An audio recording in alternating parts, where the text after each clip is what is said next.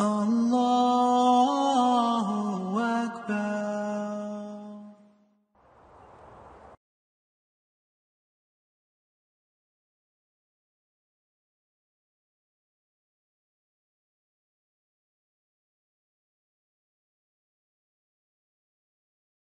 الحمد لله رب العالمين والصلاة والسلام على سيدنا محمد وعلى آله وصحبه أجمعين ومن استنى بسنته بإحسان ليوم الدين الحمد لله الذي هدانا لهذا وما كنا لنهتدي لولا أن هدانا الله السلام عليكم ورحمة الله وبركاته I would like to welcome you to another session from Commentary of the 40 Hadith of Imam An-Nawawi rahimahullah and with the fatwa of Allah we are on Hadith number 30 and this topic is on transgressing the limits.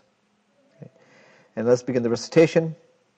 عن أبي ثعلب الخشني جرثم بن ناشر رضي عنه عن رسول الله صلى الله عليه وسلم قال إن الله تعالى فرض فرائض فلا تضيعوها وحد حدودا فلا تعتدوها وحرم أشياء فلا تنتهكوها وسقط عن أشياء رحمة لكم غير نسيان فلا تبحثوا عنها. حديث حسن رواه دار قطني وغيره. Translation. It was narrated on the authority of Abu Ta'alab al-Khushani Jurtum bin Nashir radi'an that the Messenger of Allah sallallahu alayhi wasallam said, Verily, Allah the Most Highest prescribed the obligatory deeds, so do not neglect them. He has set certain limits, so do not transgress them.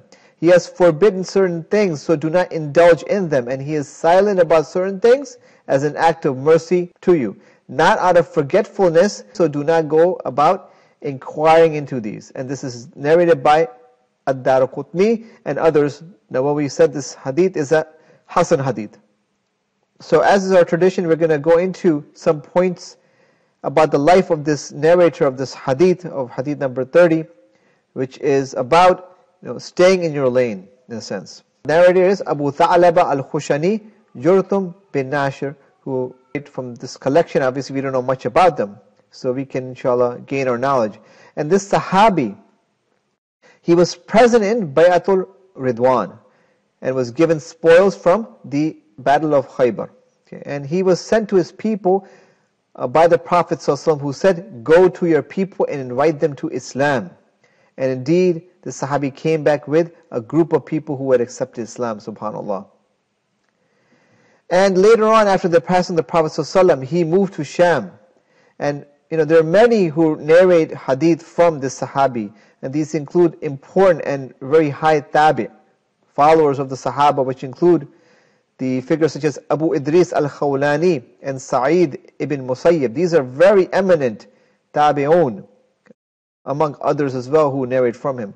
And for example, Abu Muslim al-Khawlani, we discussed or we mentioned him briefly, but he is a well-known tabi and was actually one of the very prominent religious figures in Sham, in Damascus. And he was one of the eight known ascetics, who include also the likes of Amir ibn Abdul Qais, Uwais al-Qarani, Al-Rabi al-Khutaym, Al-Aswad ibn Yazid, Masruq ibn Al-Ajda, Sufyan al-Thawri, and Ibn Sa'id, and also Hassan al-Basri. So these are very eminent tabi'un, and this example that many of the great figures, they basically took their knowledge from the Sahaba, the big ones that we know of, and also of the other Sahaba like the likes of Abu Ta'alab al-Khushani and others who we don't know much about.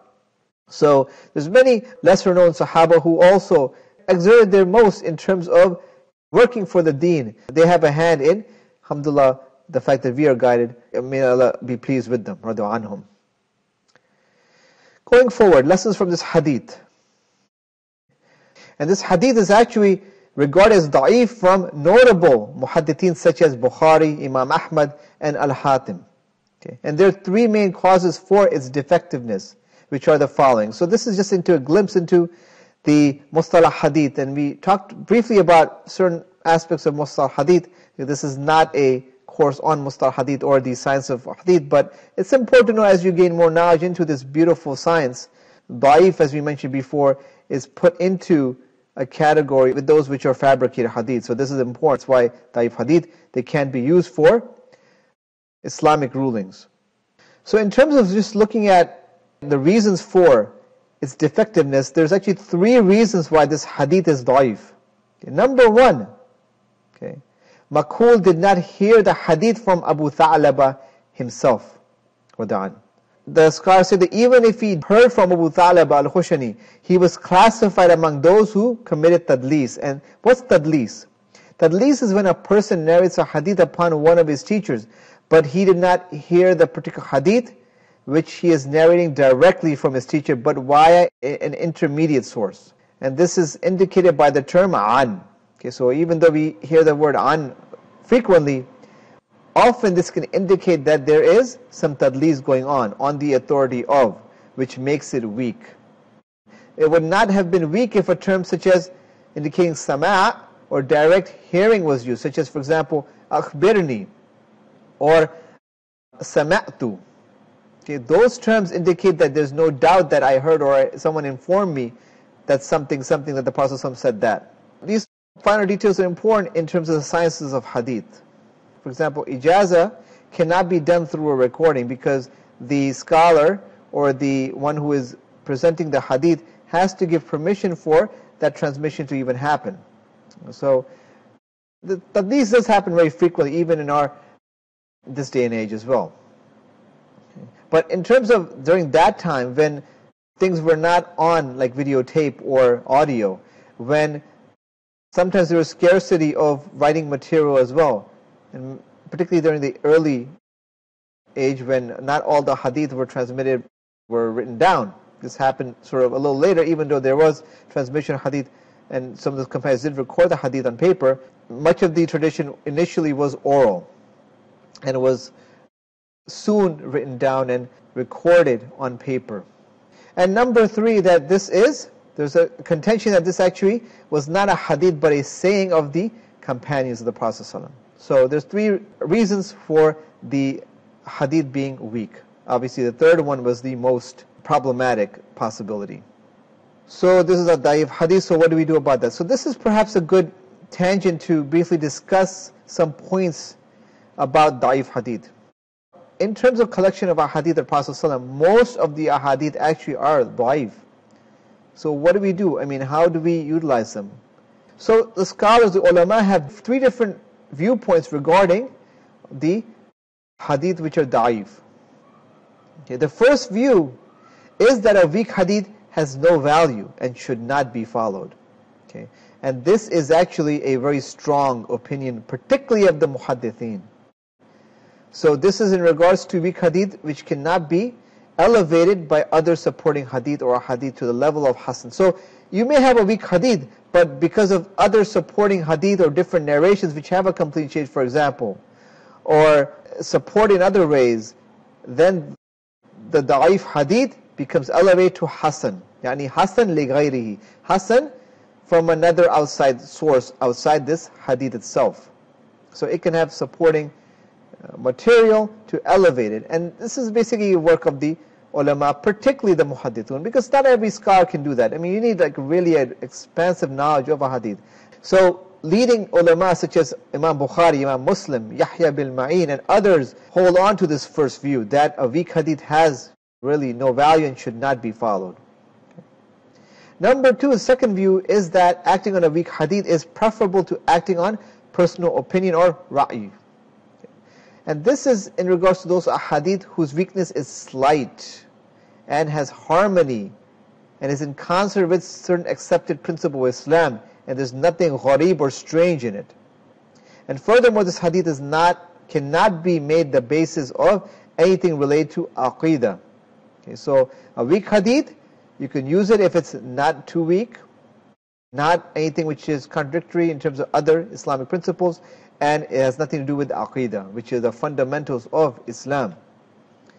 And yet there's a third opinion which uh, that a weak hadith may be followed in moral virtues, but not in legal injunctions or hakam. And this opinion is also favored by many fuqaha. So, daif hadith, you can't use it for legal rulings.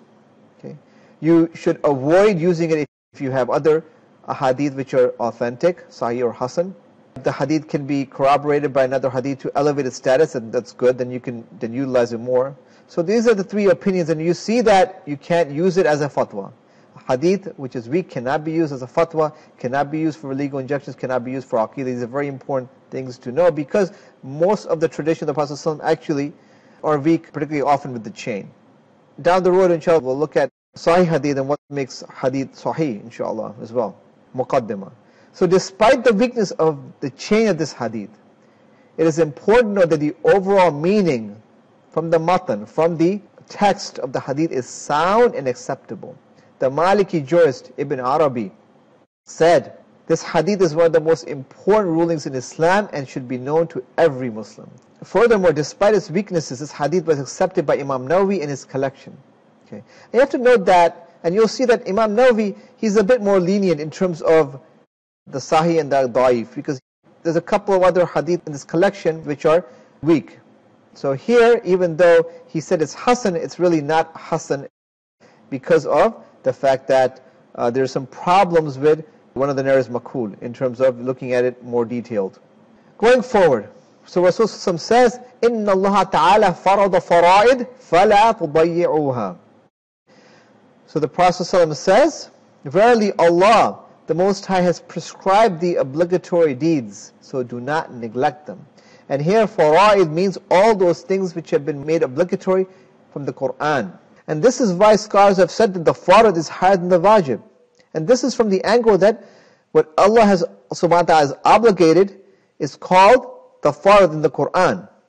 Whereas, for example, in the Hanafi school, that which is obligated from the hadith is called wajib.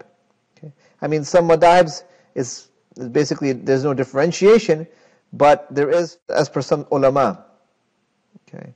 However, in both cases, we have to obey them in what is obligated in the Quran and the Sunnah.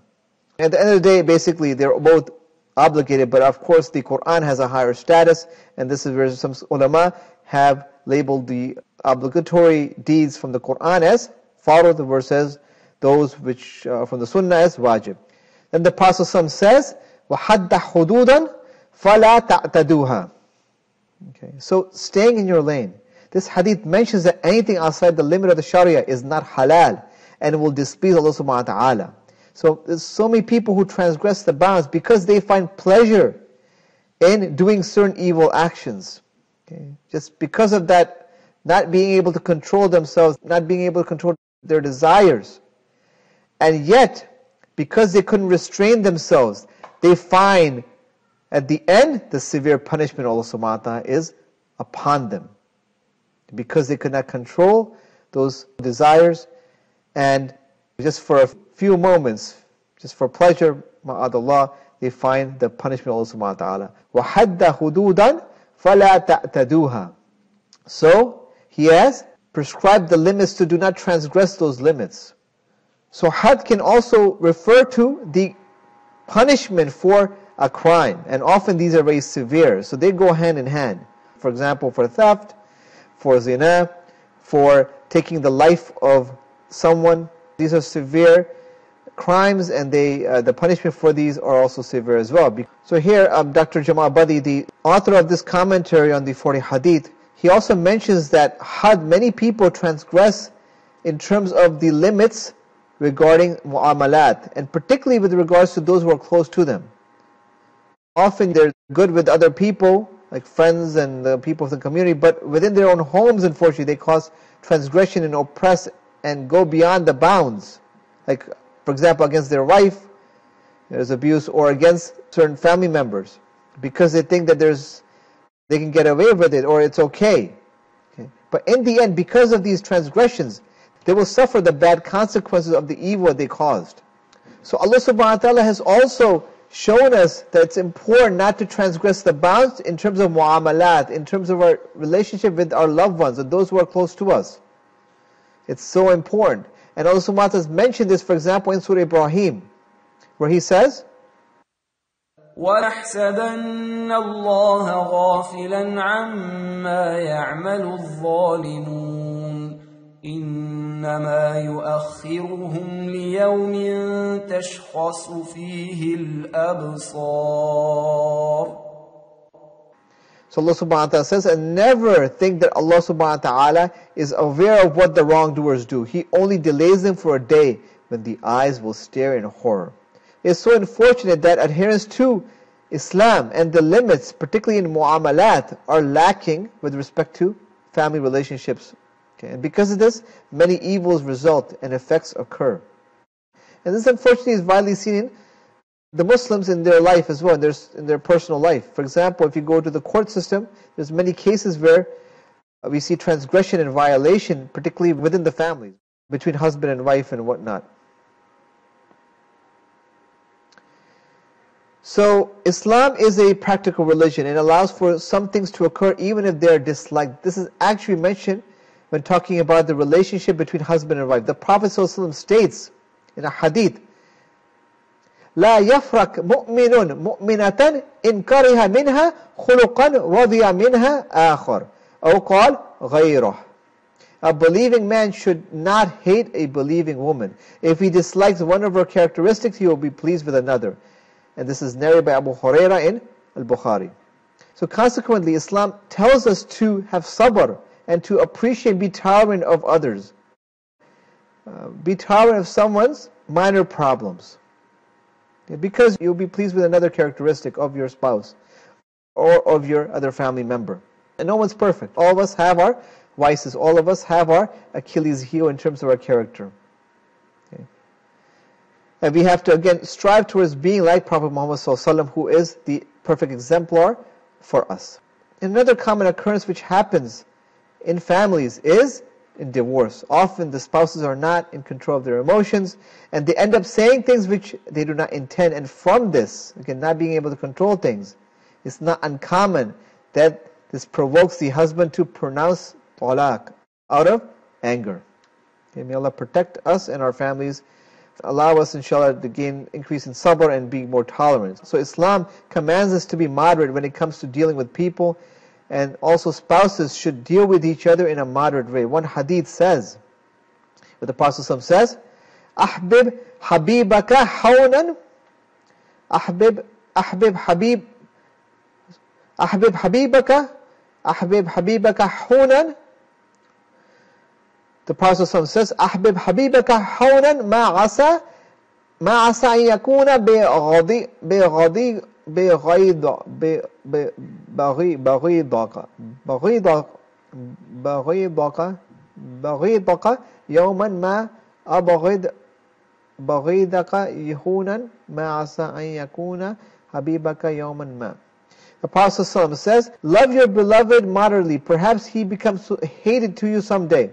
And hate whom you hate moderately, perhaps he becomes your beloved someday. And this is narrated by Abu Huraira in Jami Tirmidhi Hasan.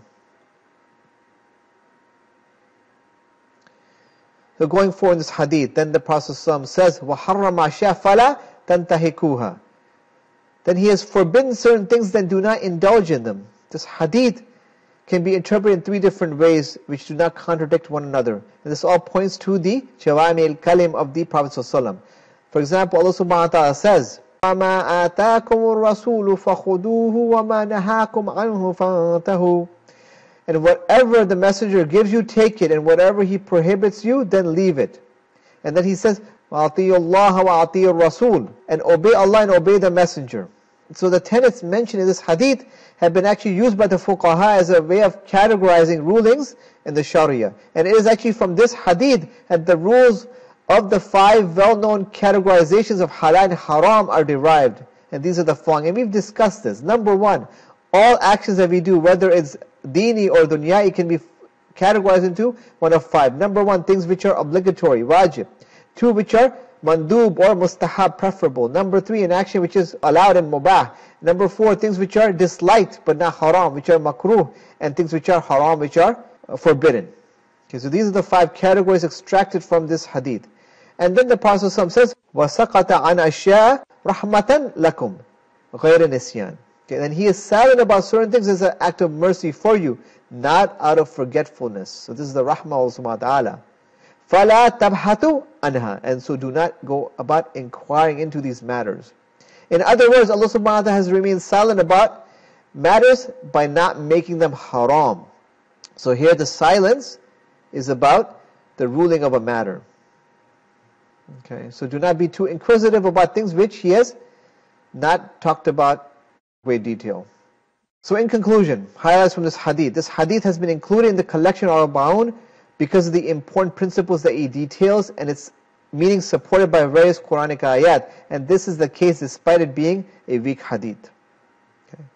And we see that the concept of Allah's hudud, the limits, has special relevance also to family relationships and also legal bindings. Okay, so furthermore, family and spousal ties have been made sacred by Allah subhanahu wa ta'ala. And breaking these ties leads to sin and leaves a destructive effect on society, particularly from the inner circle. And it's important that contemporary Muslim society learn from these lessons and be cognizant of staying in your lane, particularly from in terms of the hudud of Allah and also again of hukuk al ibad, the rights of others as well. Because not doing so leads to upheaval from this transgression of the hudud. And if Muslims reflect on this hadith and, and other Quranic ayat related to this hadith, society will be uh, kept away from the evil and tribulation, and they also will be kept away from the punishment and the humiliation in the akhirah. May Allah allow us to give us tawfiq from implementing this hadith and also the other hadith from this collection. سبحانك اللهم وبحمدك ونشهد أن لا إله إلا أنت وأستغفرك وأتوب إليك السلام عليكم ورحمة الله وبركاته